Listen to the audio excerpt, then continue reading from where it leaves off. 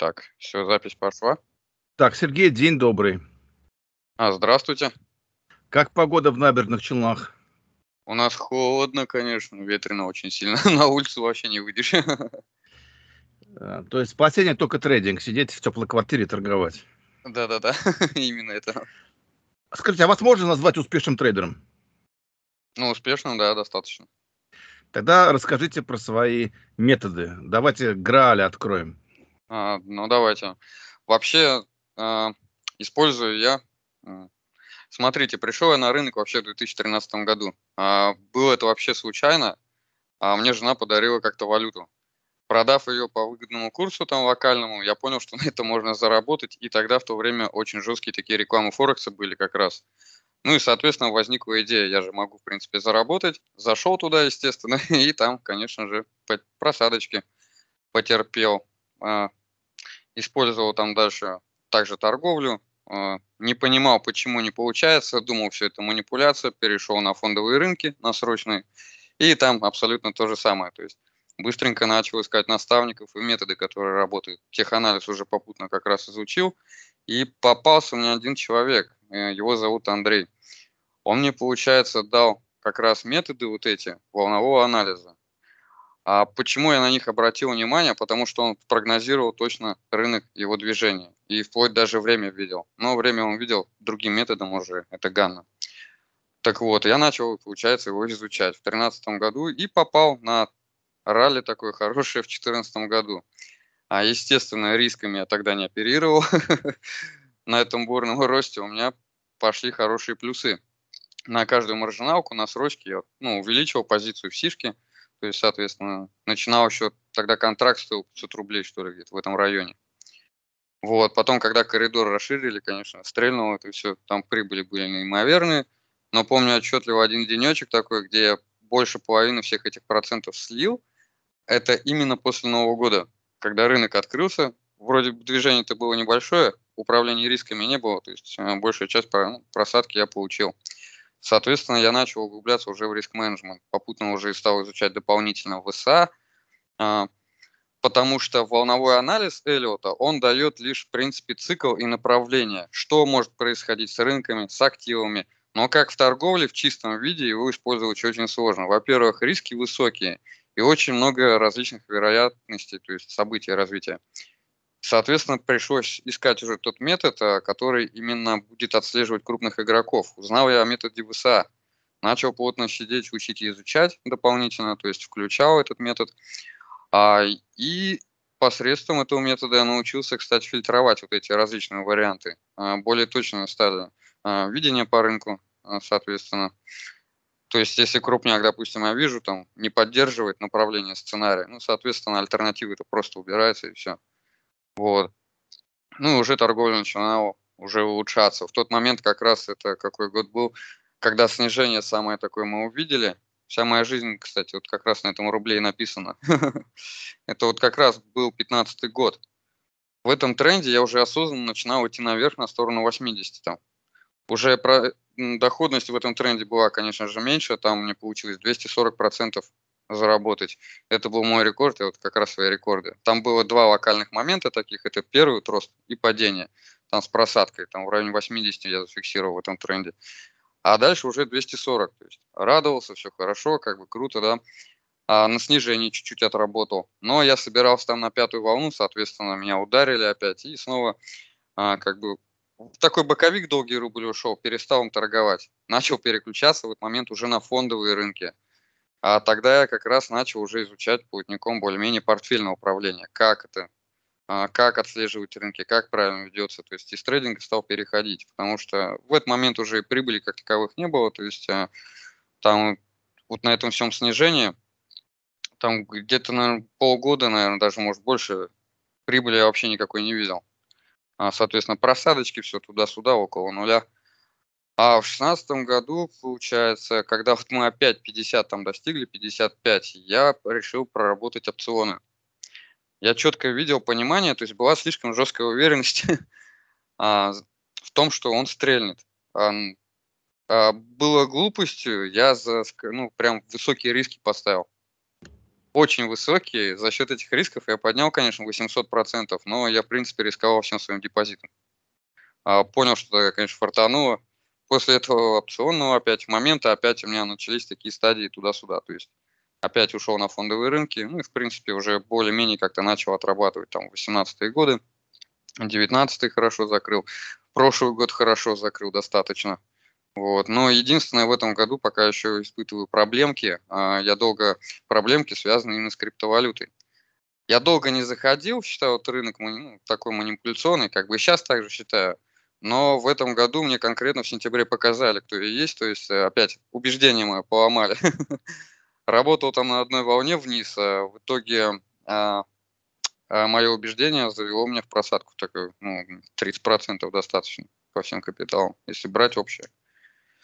Вот, соответственно, теперь тихонечко перехожу вообще э, на локальные, на фондовых рынках, то есть на локальных отработках. Вот, потому что я жду один интересный момент. Еще с прошлого года ждал.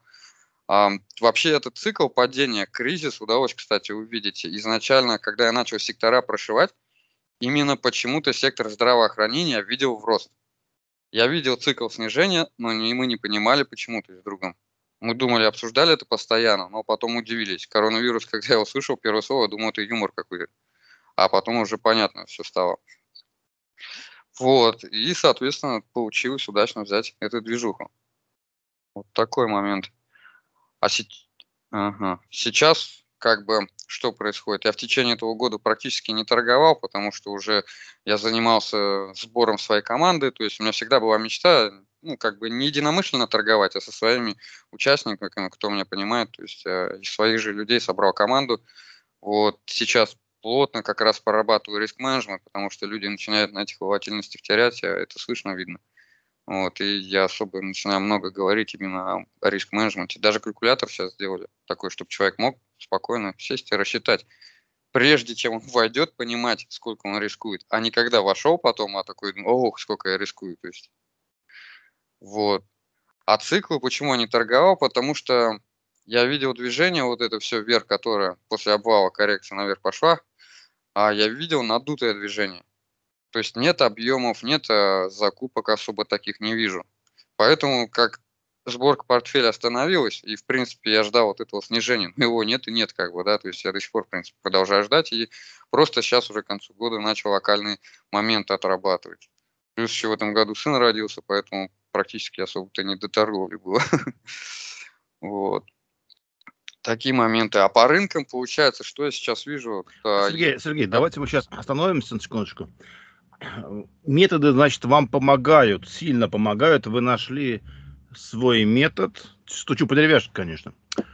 Вот. И сколько этот метод помогает вам добывать угля в год в процентах? В процентах, ну, минимум я 30% способен заработать на портфельном управлении, на более консервативном. Потому что, когда я риски резко убрал, прибыль, соответственно, тоже ну, присела. Но уж лучше прибыль какую-то не дозаработать, чем потерять свой капитал. Я в этой стороне. Да уж, конечно, восстанавливаться будет в два раза тяжелее. Да. А те, теперь я вас перебил, вы хотели сказать про торговые идеи свои. Да, то есть э, я вот уже как год э, сижу, высиживаю один момент. А не высиживаю в позиции, а именно наблюдаю.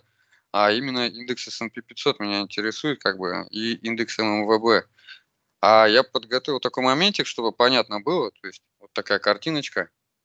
По сути, а, вот в этой структуре расписан весь индекс МВБ и S&P 500. Что это такое? То есть это структура как раз ну, цикла волн, стадия роста и стадия как раз рецессии, коррекции. И на мой взгляд, глобальный индекс S&P 500 находится как раз-таки вот здесь, сейчас. А в какой-то момент я жду вот это большое глобальное снижение там в район, сколько там, 2500 что ли было, то есть диапазон там четвертый под волны. МВБ находится в такой же ситуации. И коррекции как особая. И вот эта пятая волна мне не нравится тем, что там нет особых покупок. То есть, когда идет накопление, там ярко это все видно. И рынок достаточно уже так не корректируется сильно. Плюс он цели выполнил. Когда я развивал, мне удалось вот этот момент, который сегодня, сейчас, где рынок находится, то есть сейчас 4800 э, там, да, то есть плюс-минус, увидеть вот это именно уровень. И откат как раз кризисного вот этого тоже удалось увидеть именно с этих уровней. И сейчас я жду, в принципе, вот этого момента глобального. Поэтому очень аккуратно начинаю действовать. А, а, по индексу МВБ тоже самую абсолютно ситуацию вижу, то есть он находится в пятой волне, но он находится, грубо говоря, здесь в четвертой. У него откат в четвертую должен быть и в пятую еще локально как бы. И тогда цикл закончится, по всей видимости. Но, тем не менее, жду откаты, поэтому длинные позиции, долгие, я не удерживаю. Но я увидел идею именно в отрасли это угольной и металла. Уголь, а, уголь и металлы почему сейчас отрабатываю? Потому что они не доделали кое-какие моменты. У них есть еще добивка вот этих вот пятых волн. У угля вообще вся третья целиком намечается. Я их через э, китайские ETF прошиваю, через фонды, а, потому что я объемы вижу там накоплений. Вот, и, соответственно, локально уже более ориентируюсь именно на наши рынки на рынки США. То есть пока что есть идея именно в угле и в черных металлах. Вот, черный металл локально. Также я, в принципе, прорабатываю все моменты, связанные с серебром и золотом. То есть, но я не торгую ими напрямую. Опять же, беру их либо через фонды какие-то там производные, да, которые инвестируют в добывающие компании, либо конкретно в какие-то компании, которые интересны. Потому что риски напрямую с, а, с, с металлами очень высокие. Вот, дальше. Это что сейчас я делаю, в принципе. Дальше я уже жду какое-то валютное ралли, именно связанное с баксом. Но меня интересует именно фунт, фьючерс и евро. А, евробакс, фьючерс тоже. Я ожидаю там ралли мощное. Мне кажется, что коррекция, то есть вот это все, что движение мы видели за последний год, это все коррекция. Соответственно, я ожидаю уже дальше выход в третью волну, то есть я предполагаю, что неминуемо какое-то снижение доллара. Вот. Также веду сейчас накопления именно связанные с рублем. А, жду еще пониже, конечно же, но уже начинаю потихонечку накапливать тем планом, что мы снова опять придем к 80 в какой-то момент. Я не очень вас понимаю. То есть вы не дожидались торгового момента, вы еще не дождались, но уже накапливаете? Нет, я дождался практически. У меня большой диапазон такой широкий. То есть, и я потихонечку на определенный риск начинаю набирать. То есть, угу. вот, копеечками, то есть, грубо говоря. Вот. А, дальше получается. А на следующий год я уже, в принципе, меня интересует банковская отрасль. То есть это будет ли на следующий год, не знаю. Но я жду, также прошу по секторам, США, Россия, я жду коррекции по банкам по всем финансовым секторам. Но у них там прикол, то есть особенно а, ETF, там есть один а, в США в секторе, да, ну их много там на самом деле, а, но жду второй волны, а там у них потом движение в третий. То есть банки там на чем-то выигрывать начнут. И опять же, то есть интересно мне их отработать после коррекции, конечно же. Ну и, соответственно, все связанное с нефтью сейчас. Э, я вижу цикл, который последний рост был. Это вот как, какие ну, вот последний рост сейчас скажу, с какого года у нас. Это этот год, с 2020 года вот этот минимум, который был. То есть по факту сейчас нефть тоже сделала вот этот импульс. А я предполагаю, что будет большая коррекция. То есть вот уже возможно, что мы сделали вот этот максимум. И, возможно, сейчас будет большая такая коррекция. Возможно, она уже пошла, потому что объемы на продажах реально есть. А, жду где-то в диапазон хотя бы там 55 а, примерно. Есть и цели пониже, конечно же, но там по факту уже будем разбирать, смотря как будут вести накопление. Там. И, соответственно, после это также нефть я расторговываю через э, моментик один такой, дрип, наверное, мы его все знаем. Он как работает э, на рост, когда нефть падает. Э, ну, в тройном значении риски там повышенные, то есть именно на импульс я хочу его отработать. Вот. Соответственно, а дальше уже по коррекции, когда закончится, я, в принципе, планирую подбирать, наверное, нефтяные компании и отрабатывать уже наверх. Пробовать. То есть хочу дождаться сейчас на следующий год более каких-то оптимальных цен, хороших трендов и начать у них работать. Это вот все такие вот идеи как раз сейчас. Ну, известно, что в крипте э, стопы сложно ставить, потому что там все очень быстро может пролететь прямо когда мы спим. А, у вас вообще-то стопы-то есть какие-то? Вот? Обязательно, всегда я ставлю стопы, а, но они у меня бывают плавающие, на диапазонах, то есть работаю именно. То есть есть первый стоп, грубо говоря, и есть второй стоп, где конкретно позиция закрывается с максимальной просадкой, допустим. Ну а как же так получилось с э, криптой? А, это было на ночь, опять же, то есть там резкое движение такое было. У меня почему-то там лимитные ордера вообще исполнились по самым там критическим моментам, значениям. То есть я этого до сих пор не понял, и с тех пор я прекратил с этим брокером, в принципе, работать. Неоднократно там пролетали заявки, отменяли лимитные ордера, то есть все сам складывалось таким интересным образом. Поначалу все было хорошо, когда я туда зашел. То есть дождался падения по плану, думаю, донышко начну отрабатывать. Отработал. Дальше, в принципе, был по плану один момент, но его не дали, как бы, соответственно, ошибка вот именно сработка. То есть первая ошибка, я не смог выйти по ММ. На этом большом движении резко меня вытащили. Нагрузка у меня слишком большая там была. Вот mm-hmm. такой момент. Хорошо. Ну, а вы подписаны на проектор или читаете каких-то волновиков других? Не всегда. Проектор я подсчитываю, как бы, но через э, людей, которые, в принципе, уже доносят перевод, там есть один переводчик такой, вот, и он, в принципе, даже общался лично с проектором, и бывают всякие его разработки, введения, но, ну, видение его открывает, а, получается. Но он в основном теорию доносит. По сути, за многолетний опыт теория вообще не изменилась. Mm-hmm. Вот. Как она есть, так и есть. Да, конечно, есть другие летчики, да, которые, допустим, какие-то даже уже новые волновые модели придумывают и названия им новые дают. Но по сути это не так. То есть человек идет от сложного к простому, хотя надо от простого к сложному, наоборот, лучше идти. Тогда метод я начинает работать. Я скажу, что у каждого додика своя методика. Если вам помогает, ага. хорошо. Я никакие волны не верю. Последние э, интервью с волновиками заканчивались у меня дикими скандалами. Один угу. вот деньги в управление взял, после угу. интервью не отдает. Мне угу. пишут письма, повлиять на него, чтобы он деньги отдал. Угу. Страшное дело вообще. Не, я согласен, потому что поэтому на чистом волновом анализе не остановился чисто волновой анализ, он как немножечко принцип казино дает такой. Поэтому он видит, да, циклы, то есть ты видишь циклы, да, куда-то там что-то, но конкретно ты а, не сможешь торговать нормально по нему. Инвестиции какие-то можно применять, но опять же с управлением риск-менеджмента. Но говорю, то есть именно ВСА дает более конкретное направление. Уже я вижу, допустим, объем прошедший, кто-то заходит, соответственно, там есть свой метод тоже понимания, и уже начинаешь от этого метода отталкиваться. И риски меньше получаются, и стопы покороче. Но за счет более коротких стопов риски поменьше выходят. Сергей, зачем вам команда? Мы сектора прошиваем всякие различные, то есть э, наблюдение рынка становится намного быстрее, будет намного эффективнее, допустим, когда я с людьми буду сидеть наблюдать рынок, чем один.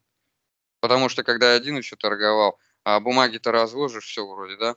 Но иногда даже уведомление не помогает сделать, а, вот, допустим, оп, и пропустил, забыл про бумагу. А команда, она позволяет как-то вести, какие-то идеи тоже свои накидывать. То есть тебе не всегда приходится постоянно там 24 часа сидеть, весь рынок мониторить. А сколько сделок вы сделаете в месяц, к примеру? Ой, тут я бы сказал, наверное, в месяц, ну, бывает 3-4, не более. Именно конкретно, и все. Я не торгую слишком агрессивно. Понятно. То есть команда, она должна вам помочь. Сказать, вот там-то ракета, к примеру, а вы это не видите, да? Да, то есть ожидаем то-то, они по своим то есть э, методам тоже дополнительно, то есть и начинают рассматривать различные способы, то есть способами различными находят идеи. В чате там закидывают идеи, и мы начинаем делиться, соответственно, и вырабатывать все эти моменты. А какие у вас э, планы на будущее? Вы зарабатываете деньги с трейдинга. У вас какая самоцель? Вы хотите доказать, что вы лучший трейдер Татарстана или России или мира? Или хотите просто купить какой-то город, а может не город, я не знаю. Какая цель у вас в жизни? Мне нравится здесь, что нет границ по образованию. Здесь постоянно приходится чему-то новому учиться. То есть даже сейчас я продолжаю изучать, допустим, метод Гана, то есть не остановился на этом. Книги по фундаменталу сейчас изучаю, читаю плотником. То есть здесь нет границ, и жизни не хватит, чтобы, в принципе, все изучить. И завлекает э, интерес. То есть это с жизнью слилось, в принципе. А, тут такое, ну, несколько творчества, наверное, скорее всего. Я раньше сам поваром как бы работал, да. а, и, может быть, есть именно такие творческие моменты, то, что нравится тут попрогнозировать, порисовать. То есть я не стараюсь кого-то убедить в чем-то. А, в любой момент, э, если ситуация на рынке не моя, я могу быть и не прав, а другой человек будет прав. Зачем кого-то убеждать в этом? Просто нравится заниматься этим делом. Какой-то mm. кайф испытываешь внутренний. А понятно, а как вы батарейки перезаряжаете, как отдыхаете? Все-таки трейдинг это не самое легкое занятие в нашей жизни. Спокойный ритм жизни веду. Ложусь в 10, алкоголь ничего не пью, не употребляю, то есть спокойно отдыхаю. Вот, поэтому достаточно сил хватает, э, плюс различные там прогулки, э, да, различного рода дыхательные практики, медитации. Сейчас очень много появилось телеграм-каналов, YouTube-каналов. Э, есть люди, которые по своим подходам к трейдингу вам близки, и вы думаете, ага, можно что-то интересное у него перенять? Да, конечно, таких достаточно много. А, особенно я вот работаю с одним человеком, а у него методы абсолютно другие. Вообще не связаны ни с волнами, ни с ВСА. Но у нас постоянно сходятся планы и цели, то есть частенько они отрабатывают. Но он более точнее а, видит рынок в плане, он, я диапазонами работаю, вижу, а он точными ценами прям видит. То есть, ну там ган тоже порешит и всякие методы. Ну, плюс подсчитываю наших э, различных топовых фундаменталистов, экономистов. Как-никак они мудрые мысли тоже несут ведь. Вот.